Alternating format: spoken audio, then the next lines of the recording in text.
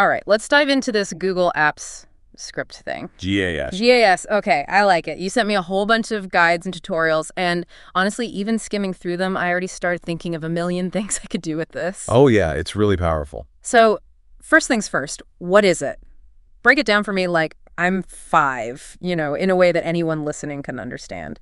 So basically, it's a scripting platform developed by Google that lets you, the user, add functionality to your Google apps, so Google Workspace apps like mm-hmm. Sheets and Docs and Gmail, Drive, Calendar, all of that. So instead of just using those apps as they are, I can like supercharge them. Yeah, you can make them do exactly what you want them to do. Okay, that sounds awesome. But I'm not a coder, so how easy is it to actually use? You'd be surprised. It uses JavaScript, which is, you know, a fairly simple coding language. Mm-hmm. And there are tons of resources out there like extensive documentation, tutorials, and a whole community to help you. So I don't need to like go back to school for computer science to get started. No, not at all. You can literally start with something as simple as displaying a little hello world message. Okay, that's reassuring. So let's say I want to get started. Where do I even begin? Well, first you need to understand the different types of GAS scripts. There are bound scripts and standalone scripts. Okay, what's the difference? Bound scripts are attached to a specific Google app. Like, let's say you want a script that runs only within a certain Google Sheet. That would be a bound script. Got it. And a standalone script. A standalone script can access multiple Google services. It's not bound to just one.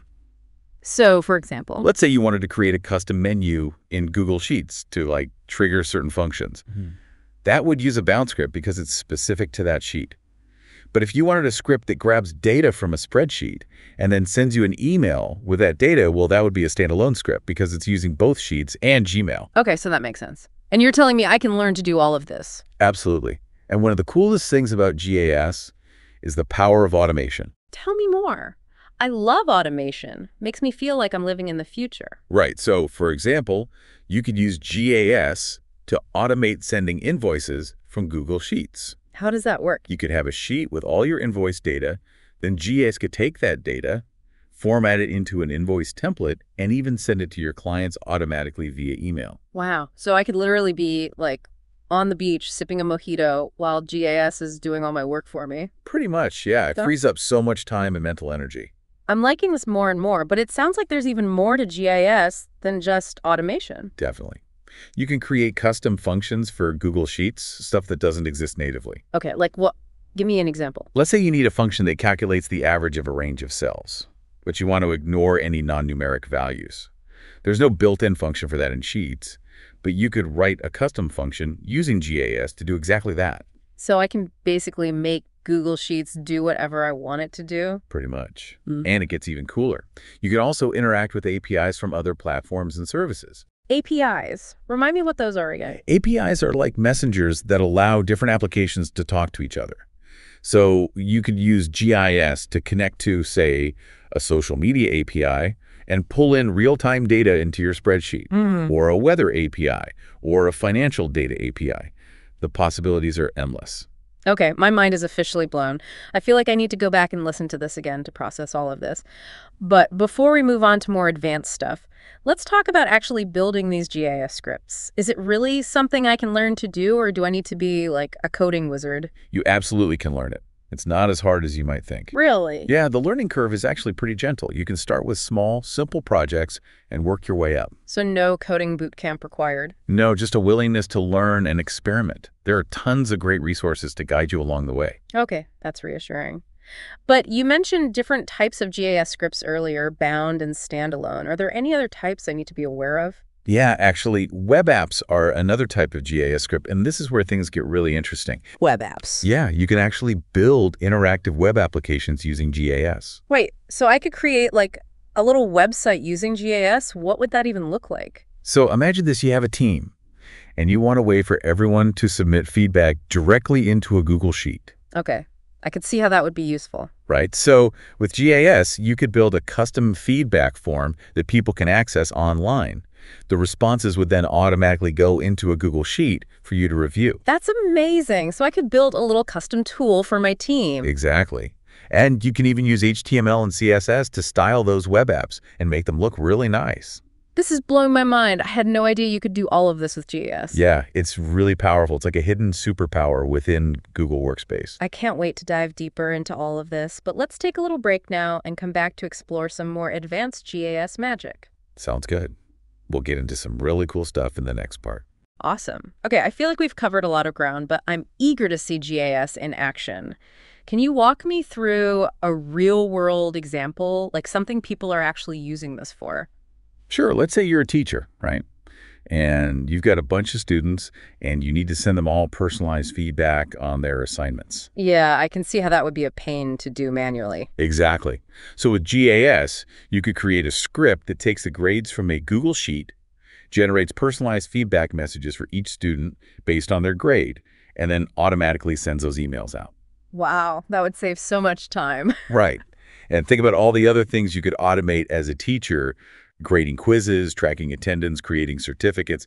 GAS can handle it all. I'm starting to see how this could be a game changer for all kinds of people, not just teachers. Oh, yeah, absolutely. And it's not just about saving time either. It's about accuracy, too. How so? Well, think about manually copying data from one spreadsheet to another. It's so easy to make mistakes. Ugh, don't even remind me. I've pulled all-nighters doing that kind of data entry before, and I'm sure I messed something up. Right, but with GAS, you can automate the entire process. So you eliminate the risk of human error and ensure that your data is always accurate and up to date. Okay, I'm sold on the automation aspect, but what about those web apps we talked about earlier? What are some real-world examples of how people are using those? Well, imagine you're organizing a conference, right? Ah. And you need a way for people to register online. Yeah, that's usually a clunky process. Right, but with GAS, you could create a custom registration form. People could fill it out online, and their information would automatically be added to a Google Sheet. That's so much smoother than using some third-party tool or trying to manage everything manually. Exactly. And it's not just about registration forms either. You could create quizzes, surveys, feedback forms, even simple games using GAS. This is blowing my mind. I'm starting to see GAS less as a tool and more as a platform for creating all kinds of solutions. That's a great way to put it. And one of the things that makes it so powerful is its ability to connect to other services using APIs. Right. The APIs, we talked about them earlier, but I'm still a bit fuzzy on how they actually work in practice. Can you give me a real-world example? Sure. Let's say you're a social media manager and you want to keep track of all the mentions of your brand on Twitter. Okay, that sounds useful. Right. So with GAS, you could connect to the Twitter API and pull in all the tweets that mention your brand. Then you could do all sorts of cool things with that data, like analyze sentiment, identify influencers, or even automatically respond to certain tweets. That's amazing. I'm starting to see how GAS can be used to connect all sorts of different dots and create these really powerful workflows. Exactly. And the more you learn about APIs and how to use them, the more possibilities will open up for you. I can't wait to dive into that. But before we get too carried away, I want to circle back to something we touched on earlier, ethical considerations. With all this power at our fingertips, it's important to make sure we're using GAS responsibly. Absolutely. It's crucial to be mindful of data privacy, user consent, and security. Can you give me some specific examples? Sure. For example, you should never use GAS to collect or access data without the user's explicit permission.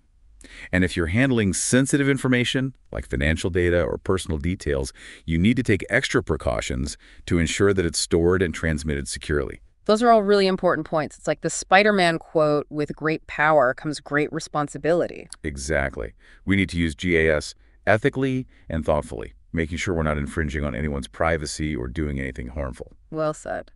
Okay, so we've talked about the awesome potential of GAS, some real-world examples, and the importance of ethical considerations.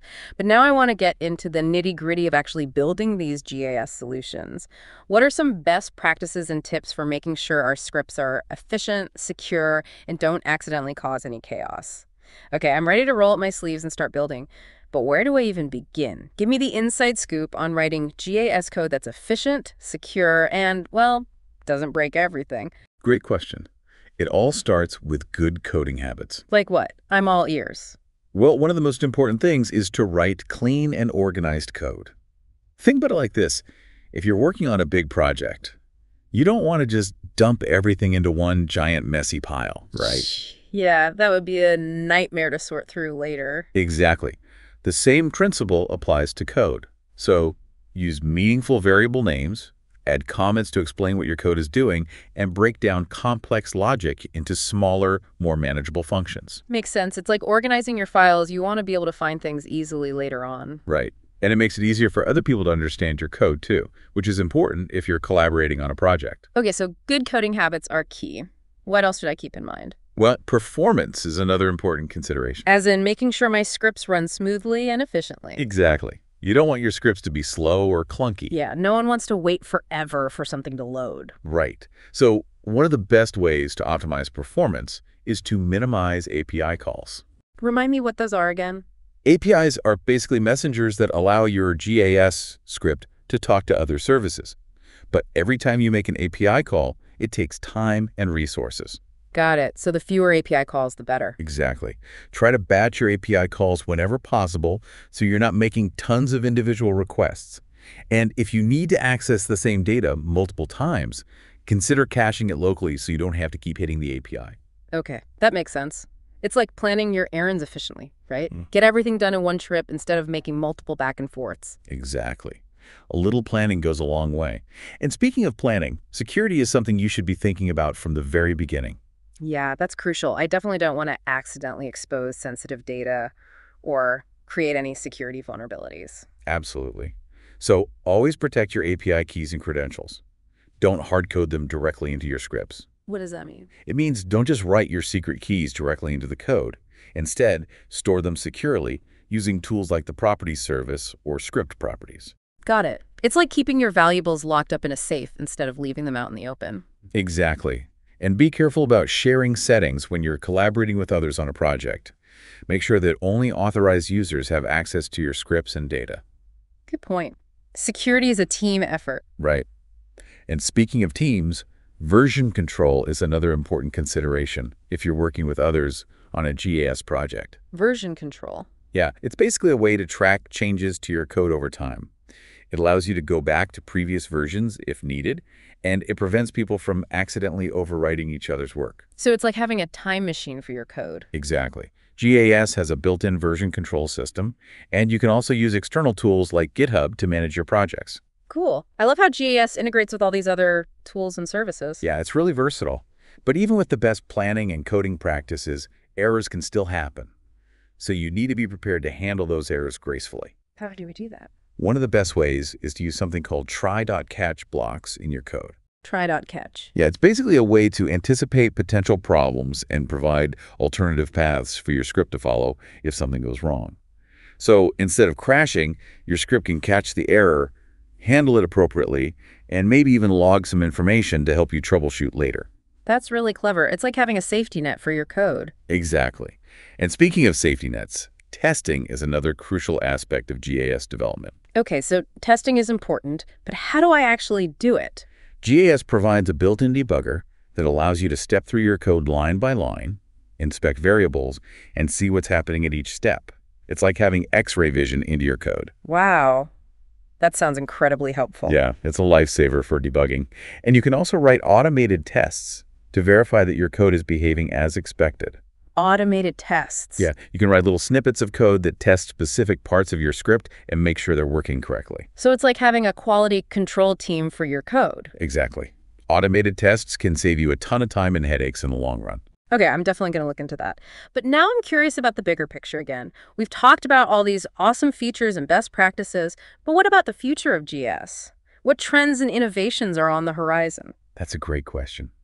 One of the most exciting things happening right now is the integration of artificial intelligence and machine learning into GAS. Whoa, AI and GAS. Tell me more.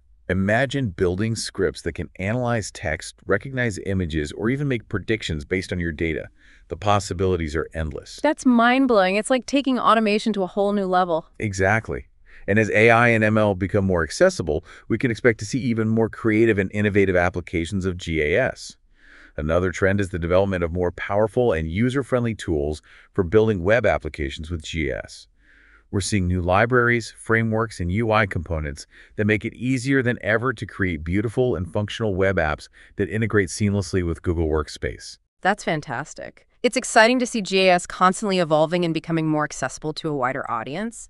But before we wrap up, I want to leave our listeners with some final thoughts and advice. What are your top tips for someone who's just starting their GIS journey? My top tip would be to just start. Don't be afraid to dive in and experiment. Pick a small project that you're interested in and try to build it.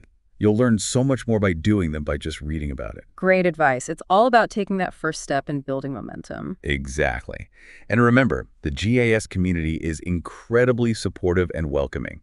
There are tons of resources available online, forums where you can ask questions, and people who are always willing to help. So don't be afraid to reach out, ask for help, and learn from others. You'll be amazed at how quickly you can progress. That's so encouraging. It's like having a whole team of cheerleaders and mentors rooting for your GIS success. Well, this has been an incredible journey into the world of Google Apps Script. We've covered everything from the basics to advanced concepts, best practices, ethical considerations, and even a glimpse into the future of automation. I feel like I've gained a whole new set of superpowers, and I can't wait to start putting them to use. It's been a pleasure sharing the power of GIS with you and our listeners. It's a truly transformative tool, and I'm excited to see all the amazing things that you and others will create with it. To our listeners, thank you for joining us on this GIS adventure. We hope you've learned something new, been inspired to automate, and are ready to unleash your own creative potential using the power of GIS. Remember, the possibilities are endless, so go forth and automate. Happy scripting.